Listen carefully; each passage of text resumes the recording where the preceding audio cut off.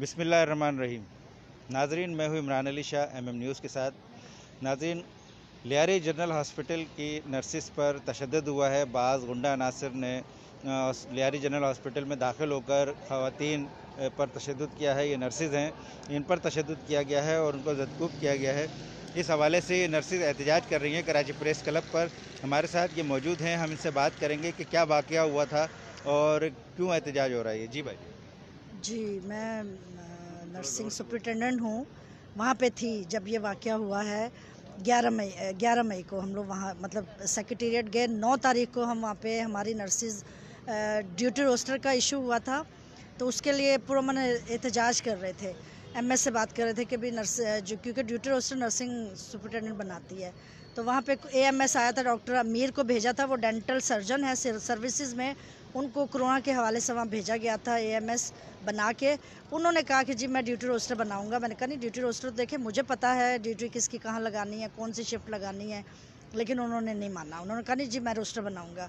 उसके लिए नौ तारीख को सैटरडे था तो ये हमारे पूरा स्टाफ एहतजाज करा था। पूरा मैंने एहतजाज था, दो घंटे का एमएस को वो करवाना था कि भाई आप इसमें मदाखलत करें या इनको समझाएँ। तो ये पूरा मन हमारी लड़कियाँ बैठी हुई थी। तो मेडिकल कॉलेज है वहाँ पे शहीद मोहतरमा बेनज़ीर भुट्टो मेडिकल कॉलेज। वहाँ के लड़के आए और उन्होंने आके इनके साथ लड़कियों के साथ बदतमीज़ी की, उनको मारा पीटा कपड़े फाड़ दिए हमारा मेल नर्स है उसके कपड़े फाड़ दिए उसको उस पर तशद किया।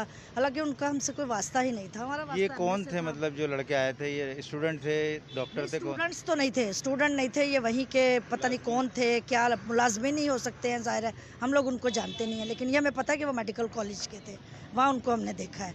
क्योंकि हमारा कोई वास्ता नहीं है ना मेडिकल कॉलेज से इसलिए हम इतना जानते नहीं हैं लेकिन ये शक्ल से हमें पता था कि ये वहाँ के एम्प्लॉय हैं वहाँ हमने इनको देखा था।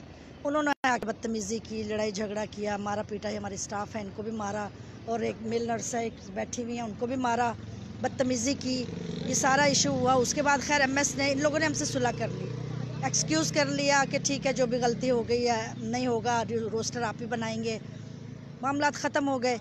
लेकिन रोस्टर फिर भी उन्होंने नहीं बनाया। लेकिन ये कि थोड़ा सा मैं, उनके साथ मैंने कोऑर्डिनेशन कोऑर्डिनेट किया। तो ये जो तशद है इसका कोई मुकदमा एफआईआर दर्ज कराई? नहीं इन्होंने सॉरी कर लिया ना माफ़ी मांग ली सब लोग ये आए भाई गलती हो गई और माफ़ कर दें चले हम भी अब पता है आपको कोविड का इशू चल रहा है तो इसलिए हमने ज़्यादा तूल देना मुनासिब नहीं समझा कि चले ठीक है माफ़ी मांग ली गलती हो गई हो जाती है इंसान से माफ़ी मांग ली रोस्टर बन गया मैं वहाँ से साढ़े चार बजे निकली हूँ ये सारा मामला सेट करके बाकी लड़कियाँ भी अपनी अपनी जगह पे चली गई अपने अपने वार्ड्स में चली गई तो जब हम, मैं वहाँ से निकली हूँ, तकरीबन पाँच बजे मोबाइल पे मैसेज आया कि जी वो एक जो पहले चली गई थी नर्सिंग सुपरिटेंडेंट, उनका ऑर्डर आ गया। है मैंने कहा, चलो ठीक है, कोई बात नहीं, ऑर्डर आ गया। ठीक है, बैठ जाएँ। लेकिन उसके एक घंटे के बाद हमारा तीन मेरा और दो मेरे साथ स्टाफें और थी, उनका ट्रांसफ़र ऑर्डर आ गया। ट्रांसफ़र लेटर हो, भाई, इसमें इतना इशू एमरजेंसी है, इसमें कैसे आप तबादले कर सकते हैं और कैसे आप इस तरीके से आप लोग वो कर सकते हैं कि जब आप, पता है एमरजेंसी चल रही है आपकी, इन्होंने हमारा ट्रांसफ़र कर दिया। फिर हम लोग गए ग्यारह तारीख को सेक्रेटेरिएट मंडे था, वहाँ गए, खैर हमारे वो ऑर्डर कैंसिल हो गए वहाँ पे पता ही नहीं है सेक्रेटरी कह रहे हैं, मुझे पता नहीं है किसने ऑर्डर निकाला। हेल्थ मिनिस्टर कह रही है, मुझे पता नहीं है कि किसने ये ऑर्डर निकाला है, मुझे कोई पता नहीं है। यानी उनको मालूम ही नहीं है, पता नहीं निचला तबका कौन है, तीसरा हाथ कौन है जो ये सब हरकतें करते फिर रहे हैं, जो उनको पता नहीं है। खैर, उन्होंने ऑर्डर कैंसिल कर दिया। फिर उन्होंने, हमने बताया कि इस तरह मसला हुआ था। उन्होंने कहा, जी, हम कमेटी एक बनाते हैं, तीन दिन में आप हमें दें तो तीन दिन में हम इंक्वायरी करेंगे, आपके साथ इंसाफ होगा। वो तीन दिन आज तक पूरे नहीं हुए। उन्होंने दो बंदे नॉमिनेट किए, एक मुश्ताक सुमरो थे, एक साथ कोई और था। कोई ना, उन्होंने कोई हमसे मालूम की, ना कोई इंक्वायरी हुई, कुछ नहीं हुआ। वो अभी तक, आज तक वो हमारे पास नहीं आए। इवन हमारे मेडिकल सुपरिटेंडेंट तक हमारे पास नहीं आए। उनका काम था कि भाई, इतना बड़ा इशू हो गया, आप आएँ, हमें बुलवा लें वहाँ पे। हम यहाँ पे बैठ गए हैं, हम एहतजाज कर रहे हैं, बैठ गए आप हमें बुलवाएँ कि आप लोग क्यों बैठे हुए हो? चलो, जो भी है, मैं मामला हल करता हूँ। जैसे उनका कोई वास्ता ही नहीं है या उन्हें कोई सरोकार ही नहीं है, हमारे एमएस ने आज तक, आज हमें कल, यानी 12 तारीख को हमें पूरे दो महीने हो जाएँगे यहाँ पे बैठे हुए। आप अंदाज़ा लगा लें कि इन दो महीनों में हमारे पास कोई नहीं आया। किसी ने हमसे रबता नहीं किया, ना हेल्थ सेक्रेटरी की तरफ़ से कोई आया कि वो आके हमसे बात करे या हमें वहाँ बुलवा लें। हमारे दो चार बंदे बुलवा लें, नुमाइंदे बुलवा लें कि भाई आप लोगों को क्या इशू है, या हम सॉल्व करते हैं। मतलब किसी को कोई जैसे सरोकार नहीं है। उन्होंने कोई हमसे रबता नहीं किया। उल्टा अभी हमारे शोकाज निकाल रहे हैं, हमें थ्रेट कर रहे हैं, वहाँ से अलग हमें धमकियाँ दे रहे हैं कि आप लोग आओगे, आप लोगों के साथ हम ऐसे करेंगे, हम वैसे करेंगे। हम लोग परेशान बैठे हुए कहाँ जाएँ, क्या करें? हर तरफ़ से धमकियाँ मिल रही हैं। ऊपर से इन्होंने हमें शोकाज लेटर इशू कर दिया। इन्होंने ये पूछने की जहमत तो नहीं की कि आप लोग क्यों बैठे हुए हो? शोकाज लेटर निकालते हुए इनको ज़रा सा भी तकलीफ़ नहीं हुई। किस बेस पे निकाला? आपको कोई भी जाके बोलेगा कि इन्होंने ऐसे किया है या ये गलती पे है, आप उसके लिए एक्शन लोगे? पहले आप पूछोगे, ये तो हर जगह होता है कि आप दूसरी पार्टी से भी पूछें कि क्या इशू था, क्या मामला थे जो यहाँ तक पहुँचे। आप लोग दो महीने से यहाँ बैठे हुए हो। रमज़ान मुबारक का महीना था, हम यहाँ बैठे हुए हैं। किसी अल्लाह के बंदे ने आके हमसे पूछा नहीं ना किसी ने हमारी सुनवाई की ना कोई हमसे रबता किया। ये हमारे स्टाफ है इनसे पूछ लें। इनको मारा इनसे भी मालूम करता हूँ आपके साथ जो वाक्य पेश आया वो क्या हुआ था किस तरह से तशद जी हम लोग बैठे हुए थे स्ट्राइक में अपने मुतालबात के लिए कि ये नर्सिंग रोस्टर के हवाले से बैठे हुए थे। तो ये कॉलेज बेनज़ीर कॉलेज भुटो शहीद से लड़के आए जो कि जैर भुटो वो जैर अपने साथ लेके आया। और जैर जैसे आया तो जैर ने हम लोगों की पिक्स बनानी शुरू की मोबाइल जैर कौन है ये? जी ये वहाँ के बेनज़ीर कॉलेज का वहाँ का पर्सनल सेक्रेटरी है मैडम अंजम रहमान का। ये जैसे आया तो इन लोगों ने हमारी पिक्स बनानी शुरू की मोबाइल के ज़रिए। लड़कों ने हमने इनको मना किया कि आप हमारी पिक्स नहीं बनाएँगे। तो उनके लड़के वो सस्पेंडेड बंदा था जब वो आया तो हमने कहा कि आप नहीं हमारी पिक नहीं ले सकते लड़कियाँ हमारी बैठी हुई हैं हम लोग नारेबाजी कर रहे हैं जो भी है लेकिन आप पिक नहीं लेंगे।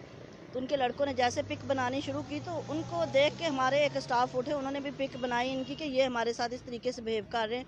जैसे पिक बनाने, उन्होंने हमारे स्टाफ मेल स्टाफ को पकड़ा, उनको मारा, उनके कपड़े फाड़ दिए। मैं वहाँ पे, मैं और मेरे साथ मेरी दूसरी स्टाफ खड़ी थी, हमारे ये चश्मे तोड़े गए, हमारे दुबट्टे खींचे इन्होंने।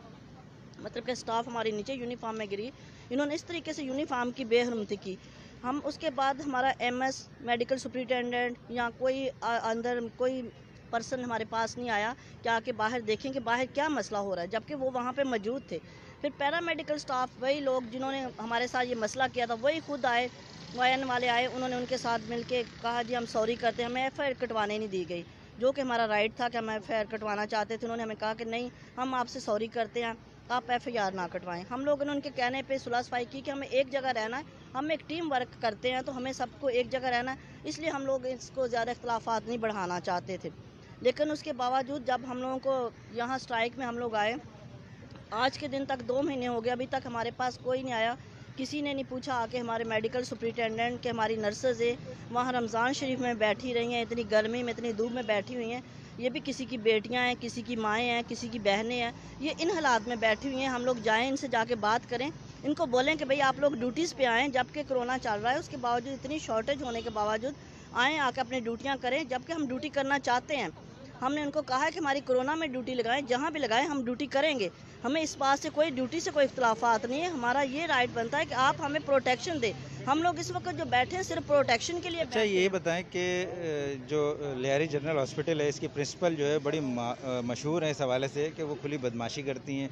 उन्होंने गुंडे पाले हुए हैं। जिससे पहले डॉक्टर्स ने एहतजाज किया था तमाम डॉक्टर्स ने तहरीर करके लिखा था। जी उससे पहले जितने डॉक्टर्स हमारी बहुत सीनियर डॉक्टर थी उन्होंने इस बात पे जब किया तो उनको भी इन लोगों ने सब डॉक्टर्स को ट्रांसफ़र किया गया।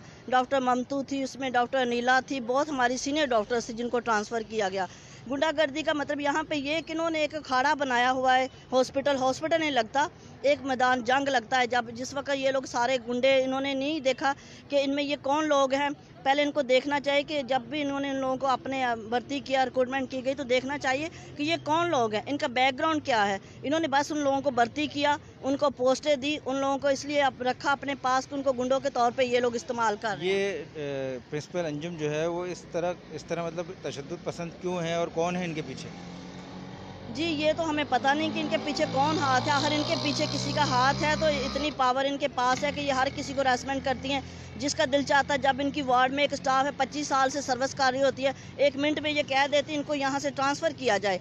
उस स्टाफ का कोई कसूर नहीं होता। बस कहा जाता है जी, इससे इससे ओवर ले लिया जाए और इसको दूसरी वार्ड में शिफ्ट कर दिया जाए। नाजरीन, जैसा कि आपने सुना कि लियारी जनरल हॉस्पिटल की जो नर्सिस हैं, उनके ऊपर तशद हुआ है और उनके साथ ज़्यादती हुई है और ये ज़्यादती और तशद जो है, वो कॉलेज की जो प्रिंसिपल है, बेनज़ीर कॉलेज जो है, लियारी जनरल हॉस्पिटल के साथ मुतसिल है, बेनज़ीर मेडिकल कॉलेज। उसकी प्रिंसिपल बहुत ज़्यादा तशद पसंद हैं, बदतमीज़ हैं। इससे पहले डॉक्टर्स ने एहतजाज किया था। डॉक्टर्स ने एक लेटर लिखा था, उसमें तमाम डॉक्टर्स के दस्तखत थे। कम से कम पचास साठ डॉक्टर्स ने दस्तखत करके वो सेक्रेटरी और सेक्रेटरी हेल्थ और मिनिस्टर को ये लेटर लिखा था। और उसके बावजूद जो है, वो आज भी विराजमान है, क्योंकि उनके ताल्लुकात हैं आला अफसरान से।